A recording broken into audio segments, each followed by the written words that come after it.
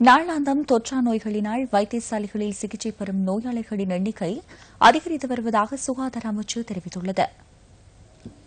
தொற்ற நோயால் பாதிக்கப்பட்ட சுமார் ஒன்பதாயிரத்து ஐநூறு நோயாளர்கள் நாளாந்தம் சிகிச்சை பெற்று வருவதாக தொற்ற நோய் பிரிவின் பணிப்பாளர் டாக்டர் திலக் சிறிவர்தன தெரிவித்துள்ளார். ஆண்டுதோறும் மூன்று மில்லியன் பேர் தொற்ற நோய் பாதிப்பிற்குள்ளாவதாகவும் அவர் குறிப்பிட்டுள்ளார்.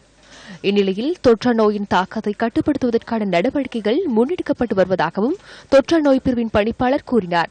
தொற்ற நோய் காரணமாக நாளாந்தம் இருநூற்று நாற்பத்தி ஐந்து பேர் உயிரிழப்பதாகவும் தொற்ற நோய் பிரிவு சுட்டிக்காட்டியுள்ளது.